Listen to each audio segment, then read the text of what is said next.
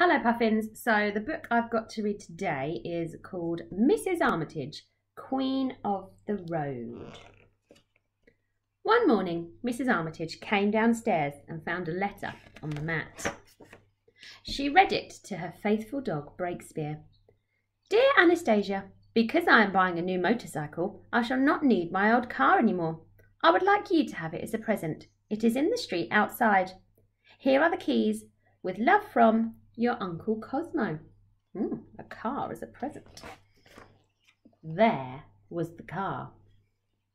It doesn't look very exciting, Breakspear, said Mrs. Armitage, but we'll give it a try. They climbed into the car and off they went. They had not been going very long when they went over a big hole in the road. Bing bong dang boing. All the hubcaps fell off. Mrs. Armitage got out to look at the damage. Hubcaps, she said. Who needs them? She took them off to the scrap heap, and on they went. But as they were going around the corner by the vinegar works, scrunch! The mud guard was ruined. Mrs. Armitage got out to look at the damage. Mud guards, she said. Who needs them? She took them off to the scrap heap, and on they went. Oh, I see a bit of a pattern. They were backing out of the scrapyard when, scrang, the front bumper had caught on an old bedspread. Mrs. Armitage got out to look at the damage. Bumpers, she said. Who needs them? She threw the bumpers onto the scrap heap and drove away. They were on their way past the supermarket when a lorry backed onto the street. Scrunch! Right into the bonnet. Mrs. Armitage got out to look at the damage. The bonnet, she said. Who needs it? She took it off to the scrap heap, and on they went. Going to be no car left. There she is. There was quite a traffic jam beside the new building site, where a big crane was moving a heavy block of concrete. To and fro it went, to and fro, up and down when suddenly. Ooh. oh, crunch! Mrs. Armitage got out to look at the damage. A roof, she said.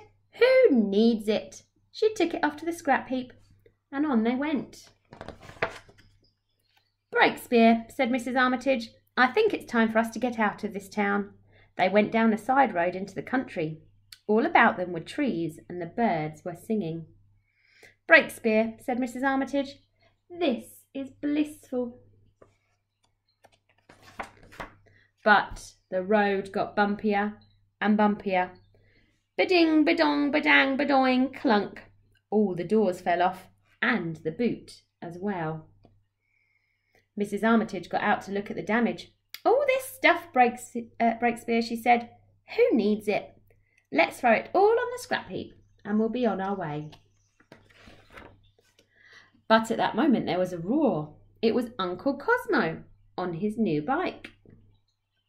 His friends were there too Gizzy and Lulu, Ferdinando and Smudge. They were out for a day's drive. They all gathered round to look at Mrs. Armitage's machine. Wow, said Gizzy. Wherever did you get that? It's fantastic.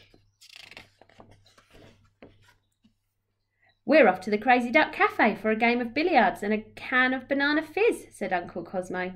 You must come too. But first, have this leather jacket, said Smudge. I've grown too big to wear it. And you must each have a collar, said Lulu. I don't need all three. And have one of our bendy masts, says Gizzy, said Gizzy. We don't need both of them. And let me give you a motor horn, said Ferdinando. I don't need all five of them, and it's always good to have a motor horn. Off they roared to the Crazy Duck Cafe, and out in front, with her faithful dog Breakspear, was Mrs. Armitage, Queen of the Road. And there they are in the cafe. And that is the end of the book. And that book was for Isabella. So I hope you enjoyed it. Bye bye.